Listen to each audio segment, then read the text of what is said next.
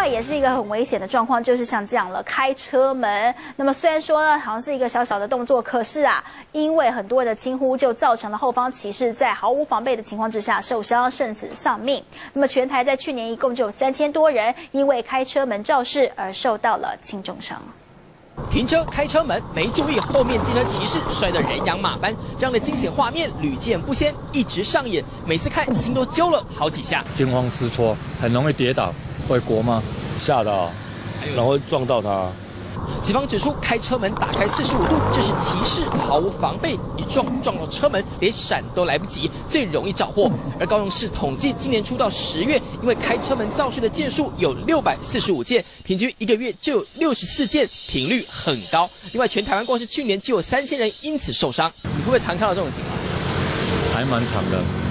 为了避免开车门肇事，因此最好用右手去开车门，这样子一来，你的身子就可以转身看到后面有没有来车。